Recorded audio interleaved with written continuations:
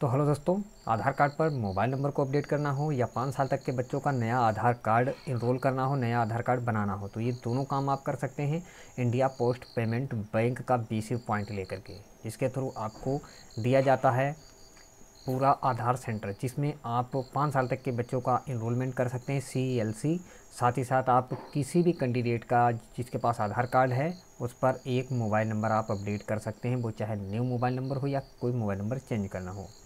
तो इन सब चीज़ों को लेने से पहले आपको ज़रूरत पड़ेगी इंडिया पोस्ट पेमेंट बैंक का बीसी पॉइंट लेने की। तो आज की इस वीडियो में हम आपको यही बताएँगे कि आप इंडिया पोस्ट पेमेंट का बीसी पॉइंट किस तरीके से लें, इसके लिए आपको ऑनलाइन क्या क्या फॉर्मेलिटी करनी पड़ेगी। तो सबसे पहले हम आपको बताते हैं इस वेबसाइट पर आकर के, ठीक है? तो इस वेबसाइट पर अगर आपको आना है तो आने के लिए आप चाहें तो आई या आप डायरेक्ट हमारे टेलीग्राम चैनल पर जाएँ। यहाँ टेलीग्राम चैनल पर आपको नीचे की तरफ़ आप देखेंगे, यहाँ पर आपको लिंक मिलेगा I P P online dot com तो ये वेबसाइट है, इसी पर आपको क्लिक करना है। अब इस टेलीग्राम चैनल पर आने के लिए हमारे इस वीडियो के डिस्क्रिप्शन में जाएँ, वहाँ पर आपको ज्वाइन टेलीग्राम करके एक लिंक मिलेगा, उस पर आप क्लिक कर लीजिए। यहाँ इस लिंक पर जैसे ही आप क्लिक करेंगे तो आपके सामने इस तरीके से पूरा पेज खुल करके एक आ जाएगा। यहाँ पर आने के बाद आपको क्या करना है कि आप ऊपर की तरफ़ देखेंगे product service two step payment इसमें में आपको एक मिलेगा service request okay service request में भी आपको दो ऑप्शन मिलेगी, एक आईपीवी कस्टमर एक नॉन आईपीवी कस्टमर तो आपको नॉन आईपीवी कस्टमर में आना है और लास्ट स्टेप में आप यहाँ आएँगे, लिखा है पार्टनरशिप विद अस ठीक है? इसी पर आप कर देंगे क्लिक क्लिक करने के साथ ही साथ आपके सामने एक फार्म खुल करके आ जाएगा, जहाँ पर आपको चार ऑप्शन यहाँ मिल रहे हैं। पहला ऑप्शन आपको सेलेक्ट कर लेना है, जिसमें लिखा है इंडिविजुअल बिज़नेस करस्पोंडेंट ओके? उसके बाद आपको यहाँ पर choose an x option, Mr, Mrs, Miss या मिस तो इस तरीके से यहाँ से एक ऑप्शन चुन लेंगे। फ़र्स्ट नेम, लास्ट नेम भरेंगे, मोबाइल नंबर आप अपना देंगे, उसके बाद ईमेल आईडी ऑप्शनल है, लेकिन अब तो लगभग सभी के पास ईमेल आईडी है तो ईमेल आईडी भी आप यहाँ पर भर दें। एड्रेस वाली लाइन में यहाँ पर अपना पूरा एड्रेस भर दें, पिन कोड भरें, उसके बाद अपना जो नियरेस्ट पोस्ट ऑफ़िस है, उसे सेलेक्ट कर लें subdivision division region circle state ये सभी चीज़ें आप भर दें। उसके बाद यहाँ एनी स्पेसिफिक रिक्वेस्ट जो लिखा हुआ है यहाँ पर आप बिज़नेस करस्पोंडेंट सिर्फ़ इतना लिख दें। उसका चेक बॉक्स को टिक करने के बाद आप इस कैप्चा जो लिखा हुआ है, इसे नीचे भर करके आपको कर देना है सबमिट ठीक है? तो इससे क्या होगा कि आपका ये रिक्वेस्ट फार्म जो है बीसी पॉइंट के लिए बिज़नेस करस्पॉन्डेंट के लिए ये फार्म आपका सबमिट हो जाएगा। उसके बाद आपको यहाँ पर क्या करना है? आप इतना काम आपका हो गया, उसके बाद आप यहाँ ऊपर सर्च में आएँगे और यहाँ पर आप लिखेंगे बी और सी ठीक है? इसे आप कर देंगे सर्च सर्च करेंगे तो सर्च करने के बाद इस वेबसाइट पर बी सी मतलब बिज़नेस करस्पोंडेंट से रिलेटेड जो यहाँ पर नोटिफिकेशन एक जारी किया गया है, वो नोटिफिकेशन आपको दिख जाएगा यहाँ पर लिखा हुआ मिलेगा India post payment bank invites application for appointment of individual business correspondent तो इसी पर आप क्लिक कर देंगे। यहाँ पर क्लिक करेंगे, थोड़ा सा आप टाइम लेंगे और वेबसाइट आपके सामने अगला पेज इस तरीके से आ जाएगा, जहाँ पर आपको एप्लीकेशन आर इनवाइटेड ठीक है? तो यहाँ पर ए से लेकर के और आई के बीच में यहाँ पर उन लोगों की लिस्ट दी गई है जो लोग इंडिया पोस्ट पेमेंट बैंक का बीसी पॉइंट ले सकते हैं, जो लोग एलिजिबल हैं। तो किस तरीके के लोग ले सकते हैं? तो वो यहाँ पर बताया गया है। अब आपको क्या करना है? अगर आप सी सेंटर चलाते हैं, जनसेवा केंद्र आपके पास है तो आप यहाँ पर आसानी से इसके लिए अप्लाई कर सकते हैं, ठीक है? तो अप्लाई करने के लिए आपको क्या करना है कि नीचे की तरफ़ आप देखेंगे यहाँ लिखा click here to download application form तो ये क्लिक हेयर यहाँ आप क्लिक कर देंगे और ये एप्लीकेशन फार्म जो है आपके सामने इस तरीके से पूरा खुल कर के आ जाएगा। आपको इसे कलर्ड में प्रिंट कर लेना है। प्रिंट करने के बाद यहाँ पर आपको ये पासपोर्ट साइज़ अपना फ़ोटो लगा देना है। फिर उसके बाद में कुछ चीज़ें यहाँ पर दी गई हैं इस फार्म को भरने के लिए, ठीक है? तो ये सभी चेक बॉक्स जो भी दिए गए हैं, इनको टिक करेंगे अपने हिसाब से। उसके बाद नाम contact number address state alternate mobile number PAN card number email ID latitude, longitude, ये चीज़ें आप निकाल सकते हैं जब आप जाएँगे अपने मैप में, ठीक है? वैसे ये सी सेंटर के लिए जब आप अप्लाई करते हैं तो वहाँ पर भी लेटीट्यूड और लेंगीट्यूड आपको देना पड़ता है। तो ये चीज़ आपको कंपास एक एप्लीकेशन होता है मोबाइल में, उसके थ्रू आप ये चीज़ें निकाल लेंगे अपनी करंट लोकेशन जहाँ पर आप सेंटर लेना चाहते हैं। उसके बाद में father name, mother name, bank detail. अब आपका जिस किसी भी ब्रांच में इंडिया पोस्ट पेमेंट बैंक की जिस किसी भी ब्रांच में आपका अकाउंट है, वो यहाँ पर भर देंगे पूरा डिटेल। उसके बाद है बिज़नेस करस्पॉन्डेंट डिक्लेरेशन। तो यहाँ पर आप अपना दुकान का स्टैम्प और अपना सिग्नेचर कर देंगे, डेट, प्लेस और फार्म नंबर ए सिक्सटीन, ये सभी चीज़ें आप भर देंगे, ठीक है? उसके बाद लिस्ट ऑफ़ डॉक्यूमेंट। तो यहाँ पर इंडिविजुअल आइडेंटिटी।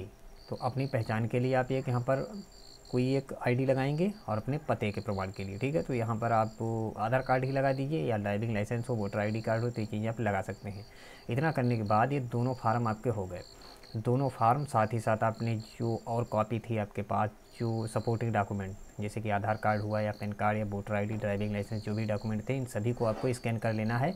बिल्कुल उसी तरीके से जैसे करते हैं हम पेन कार्ड को बनाने में, ठीक है? उसी तरीके से आपको एक के बाद एक करके पूरा एक पीडीएफ फ़ाइल तैयार कर लेना है। पीडीएफ फ़ाइल जब आपकी तैयार हो जाए, उसके बाद आप यहाँ पर आएँगे और नीचे की तरफ़ आप लिखा हुआ देखेंगे, लिखा है सर्कल एंड ब्रांचेस। तो यहाँ पर आप क्लिक कर देंगे।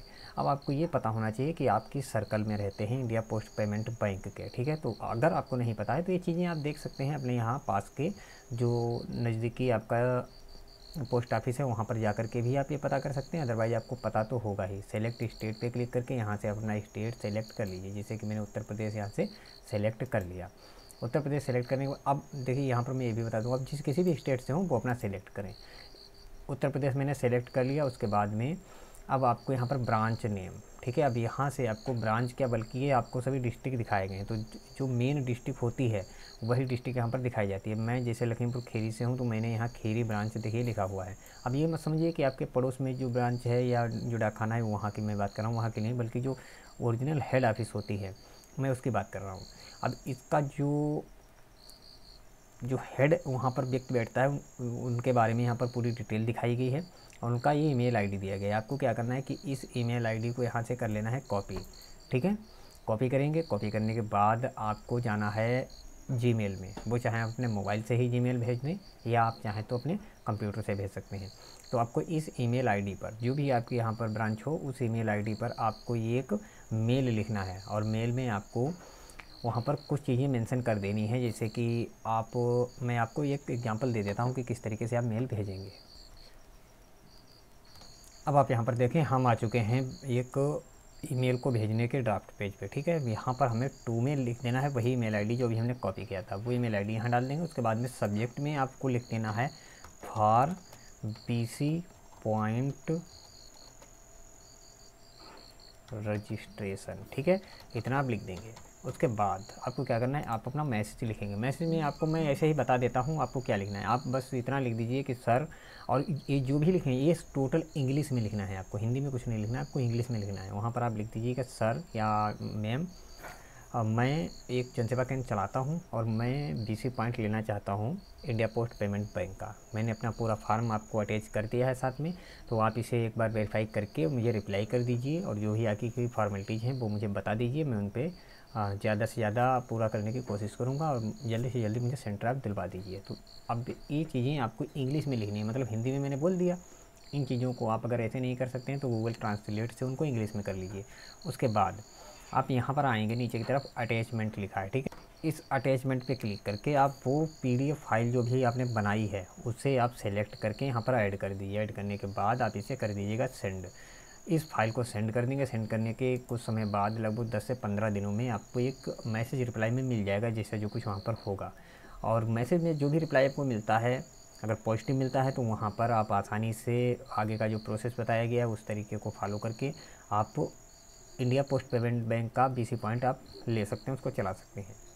अब बात आती है कि क्या इंडिया पोस्ट पेमेंट बैंक का वीसी पॉइंट आपको मिल जाता है तो उसके मिलने के तुरंत बाद आपको ये सभी सर्विस मिल जाएँगी।